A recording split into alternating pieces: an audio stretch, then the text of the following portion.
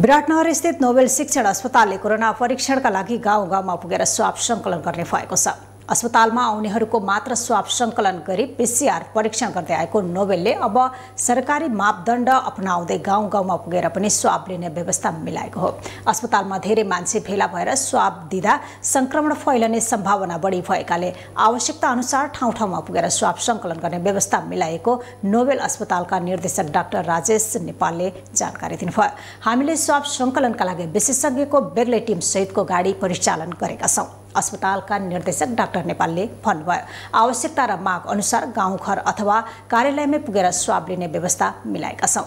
पालिका तथा वडा जनप्रतिनिधिहरूले घुम्ती स्वाब सङ्कलनका लागि आग्रह गरेकाले पनि यस्तो सुविधा उपलब्ध गराएको डाक्टर नेपाल बताउनुहुन्छ।